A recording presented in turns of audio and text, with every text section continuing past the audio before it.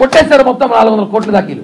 ఇప్పుడు ఇందిరాగాంధీ రాజీవ్ గాంధీ సైతం Vijayawada municipal corporation కార్యాలయంలో నగరాభివృద్ధి కొరకు చేపట్టాల్సిన అభివృద్ధి కార్యక్రమాలపై ఎంపీ కేశినేని శివనాథ్ సమీక్ష సమావేశం నిర్వహించారు.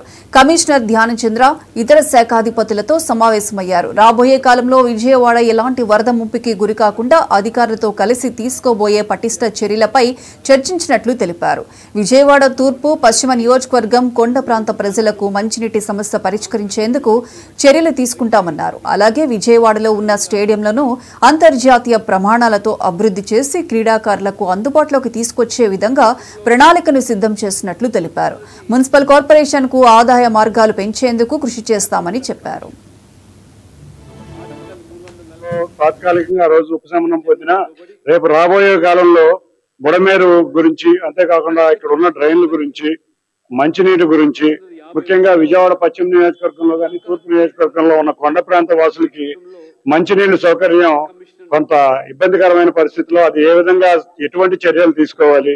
అంతేకాకుండా స్ట్రాంగ్ వాటర్ డ్రైనేజ్ గురించి వీటన్నిటికీ మించి విజయవాడ నగరంలో మున్సిపల్ కార్పొరేషన్ ఆధ్వర్యంలో ఎన్నో స్టేడియంలు ఉన్నాయి. ఆ స్టేడియంలు ఏ విధంగా రెనోవేట్ చేసి క్రీడాకారులకు అందుబాటులో తేవడం గురించి అంటే వీటితో పాటు విజయవాడ నగరంలో నగర కార్పొరేషన్కి ఆదాయం వచ్చే మార్గాలు చాలా ఉన్నాయి. దీంట్లో ముఖ్యంగా ఇవాళ అడ్వర్టైజ్మెంట్ బోర్డ్స్. ఎన్నో కాలం నుంచి ఇక్కడ అడ్వర్టైజ్మెంట్ బోర్డ్స్కి ఆదాయ వనరులు అయినా కూడా చాలా మంది ఇంతవరకు అడ్వర్టైజ్మెంట్ బోర్డ్స్లో సక్రమంగా ఫీజులు కూడా రావట్లేదు కార్పొరేషన్కి వాళ్ళ మీద ఎటువంటి చర్యలు తీసుకుని కార్పొరేషన్ ఆదాయం పెంచాలి?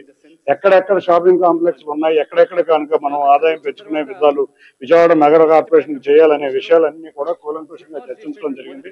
అధికారులు కూడా బాగా స్పందించారు.